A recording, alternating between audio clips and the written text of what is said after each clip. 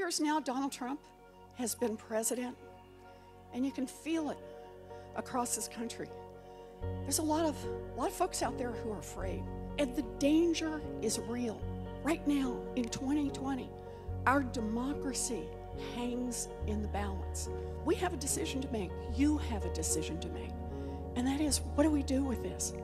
Does the fear make us pull back? Does the fear make us cower? Or are we a people who fight back? Me, I'm fighting back. That's why I'm in this. I'm fighting back, and I'll tell you what fighting back is an act of patriotism. We built this nation by fighting back against a king. We saved this nation by fighting back against the scourge of slavery. We rebuilt the economy of this nation by fighting back against a Great Depression, and we protected this nation by fighting back against fascism. That is when Americans are at their best, when they take on the big battles and when they fight back for their country and their families.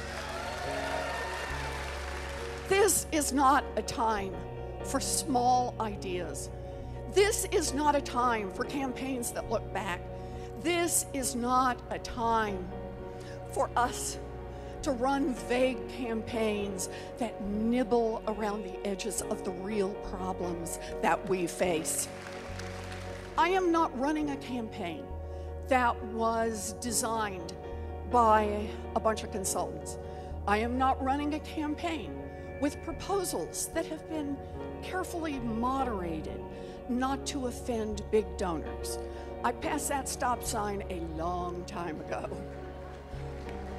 I'm running a campaign from a lifetime of fighting for working families.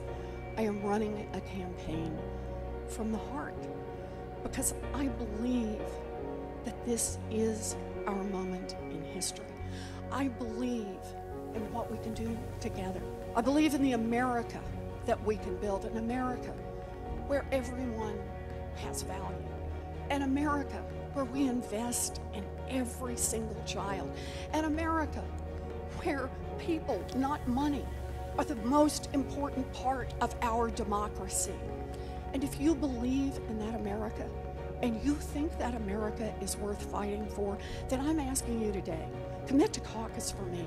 Get in this fight. Go to elizabethwarren.com, sign up, volunteer an hour, put in five bucks. Because here's the thing you've got to get in this fight. This moment in history will not come our way again. You, right here in Iowa, are going to determine the direction of this country, not for the next four years or the next eight years, but for generations to come.